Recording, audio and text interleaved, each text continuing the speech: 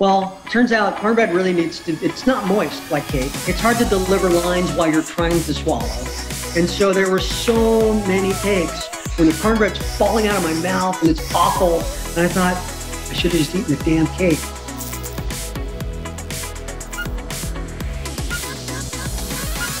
Hi, Emilio. I'm good. How are you? I'm very well, thanks. I'm over your shoulder. I see Nicolas Cage. I see Keanu. I see yeah.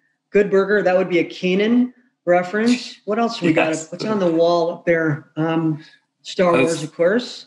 There's a uh, Bobby's Bobby's World. Do you remember that cartoon? Sure, of course I do. Yeah. Howie Mandel. Oh it's a lot of my knickknacks and crap. and all of that is all original, collectible. Yeah, for the most part. The the cookie jar is a little new, but you know. Right. Well yeah. Done.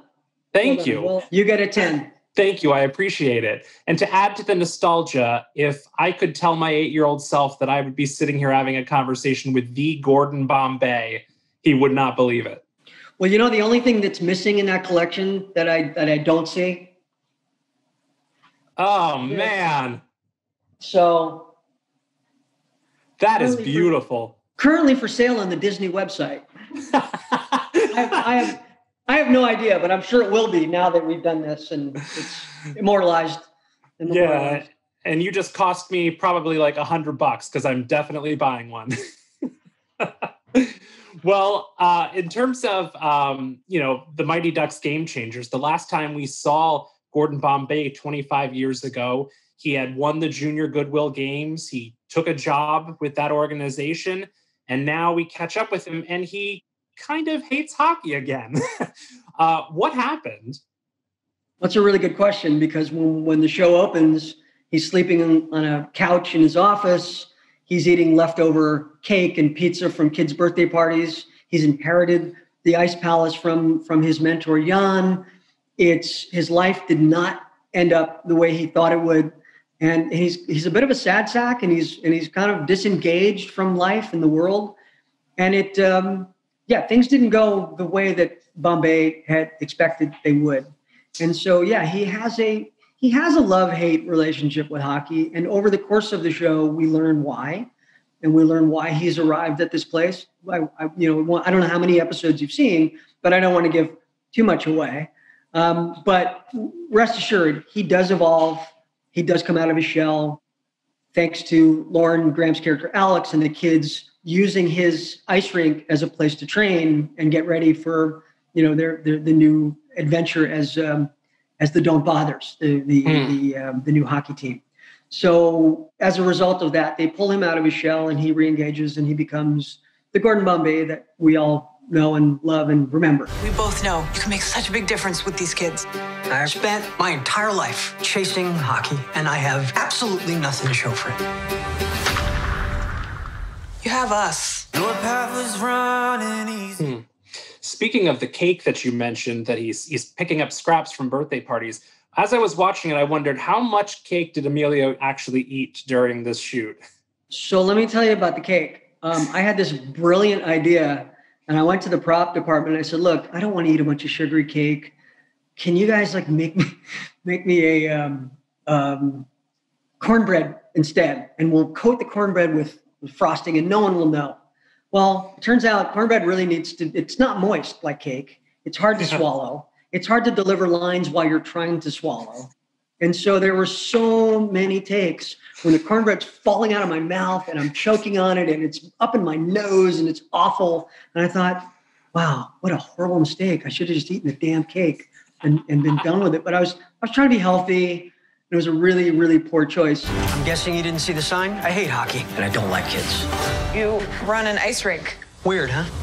Anyway, yeah, I don't recommend it. Um, and we did a lot of takes, and um, yeah, I had a lot of a lot of really nasty frosted covered cornbread, which again, it's better when dipped in some beans and some barbecue sauce. I guarantee you.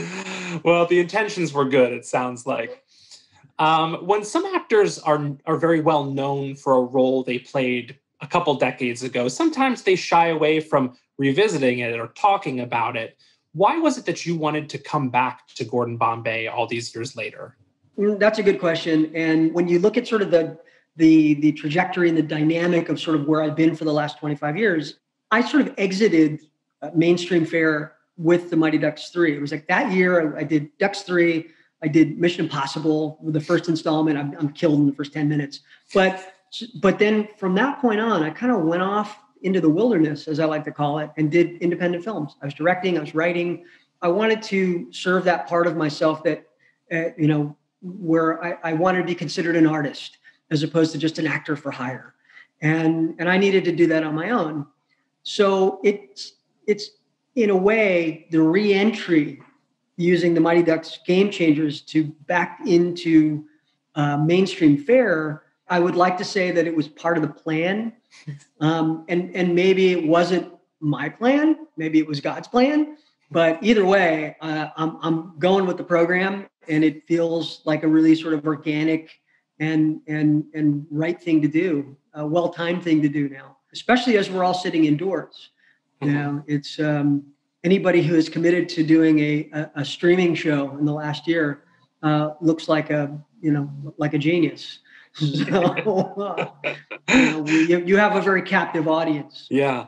When you think back on making those original movies, what are some of the the special moments that stand out to you? So, I mean, I, I grew up, um, you know, as a sports kid. I played soccer. I ran track. I love being part of a team.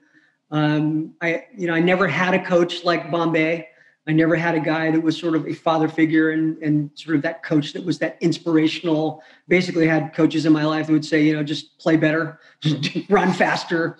So that, so I never really had that that coach slash father figure as a, as a high school athlete. Um, so for me to be able to sort of play that role and embody and that that character of Bombay and be able to be the inspiration not only for the whole team but be the father figure to Charlie uh, Charlie Conway the, the, Josh Jackson character that that all spoke to me um, not just as an actor but just as a as a human being and and those were some of the qualities that that I really enjoyed um, imparting into the character. Hmm. I had read that you had to learn to skate for the original movies. Is that something you kept up, or did you have to relearn to ice skate?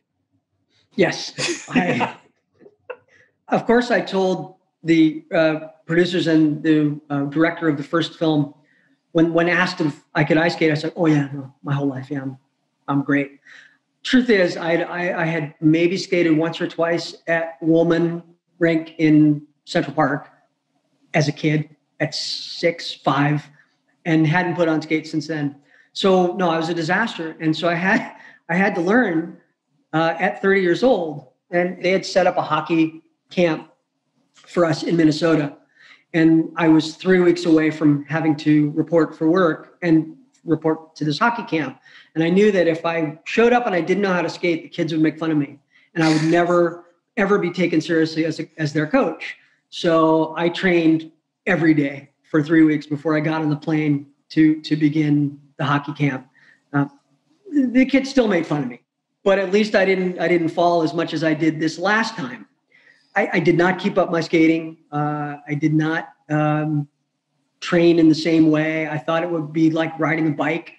And I was uh, quickly um, reminded that it's absolutely nothing like riding a bike and uh, and it's you know it's something that you really have to practice to be good at. Uh, the Mighty Ducks was one of those movies that was so important to me as a kid. Like I just used to daydream about being one of those players playing for Gordon Bombay, and we used to play a lot of street hockey. And mm. I used to go out and always try to do the knuckle puck that doesn't work in real life. The knuckle no. puck doesn't. No, no, it's a, that's that's a, that's a movie thing. Um, just just want to tell you, it's a movie yeah. thing. well, I wish I would have known it then, because I looked like a real fool trying to flip a puck on its on its edge. Right. No, it's so funny. Did you have a movie um, for yourself that like captured your imagination in that same way when you were younger? Uh, I, I mean, I love Willy Wonka and the Chocolate Factory. I always imagined that I would be one of those kids that you know had the golden ticket and and got the tour of the of, of the of the Chocolate Factory. That that was one of those films, and I remember I was on location with the family. My dad was shooting a movie called Badlands in a little town called La Junta, uh, Colorado. We were living in a house in, in the in this in the center of town. There was a um, movie theater down the street, and that was back in the day when you know movie theaters would play films for weeks on end and hold them over because that's just what you did.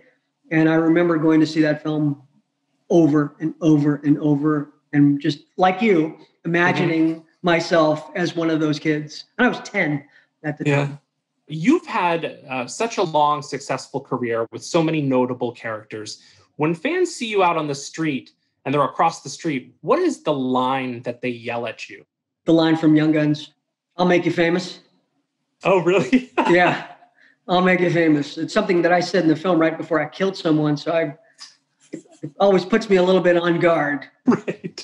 Right. well, I have to say, uh, I loved this show so much. And I'm so happy that you're back because there's a, a certain comfort to seeing you on screen playing this character. It was like, you know, wrapping myself in my childhood. So thank well, you for and, coming back to this role. Well, and thank you, and, and, and thanks for saying that. And that's kind of what our goal was. I think with with the world being so upside down, and and obviously so much loss with this with this horrible pandemic, and so many people hurting, uh, not just through the, the, the disease alone, but but also what they've lost in terms of jobs and businesses, and and so we felt that we would be giving people an opportunity to tuck into something that felt comfortable, that felt familiar, that felt safe in a world that feels so unsafe every single day.